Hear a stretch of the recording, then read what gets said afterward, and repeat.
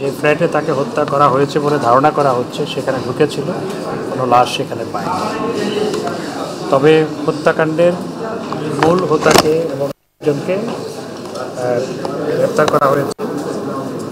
DB গ্রেপ্তার করেছে এবং কলকাতা পুলিশও দুজনকে গ্রেপ্তার করেছে। তদন্ত চলছে কীভাবে এই হত্যাকাণ্ড ঘটানো হয়েছে। তো এরই বিস্তারিত আসলে স্বরাষ্ট্র মন্ত্রণালয় বলবে। আমরা আমাদের মিশনের মাধ্যমে খোঁজ রাখছি এবং মিশন কলকাতা পুলিশের সাথে নিয়মিত যোগাযোগ রাখছে। আমাদের এন্ড থেকে স্বরাষ্ট্র মন্ত্রণালয়ের মাধ্যমেও যোগাযোগ রাখা হয়েছে। তো সুতরাং বিষয়টি তদন্তাধীন, এর চেয়ে বেশি কিছু। দেখুন, সেটা বিষয়টা তদন্তাধীন এখনও কোনো লাশ তো পাওয়া যায়নি।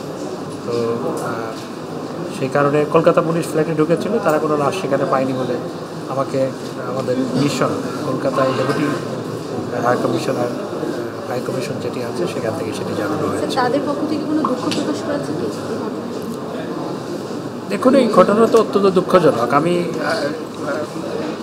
যেহেতু এটি একটি স্বরাষ্ট্রমন্ত্রী মহোদয় বলেছেন এটি একটি পরিকল্পিত হত্যাকাণ্ড। সুতরাং এখানে এটি দুই রাষ্ট্রের বিষয় এটি তো ইউএস যে ডিপার্টমেন্ট থেকে বা যে আইনের অধীনে তার উপর ভিসা রেস্ট্রিকশন দেওয়া হয়েছে সেটা তো দুর্নীতির কারণে। পার্সোনাল দায়। এটা তো কোনো ইনস্টিটিউশনাল কোনো বিষয় না সেটা পার্সোনাল দায় এবং সেখানে বলাও হয়েছে। জাতিসংঘের শান্তিরক্ষী মিশনে পাঠানো হয়েছে। এটা কি আপনাদের নজরে এসছে কি দেখুন আমি ওটা পুরোটা না দেখে আমি একটা ডয়েচে ভ্যালির একটা চ্যানেলের একটা ডকুমেন্টারির উপর আমি মন্তব্য করতে চাই না। প্রথমে আমার নিজের দেখতে হবে। এটা কি শান্তিরক্ষী মিশন প্রথমে আমার দেখতে হবে। আপনি দেখেছেন সেটার উপর তো আমি মন্তব্য করতে পারি না। আমি দেখার পর মন্তব্য করতে পারি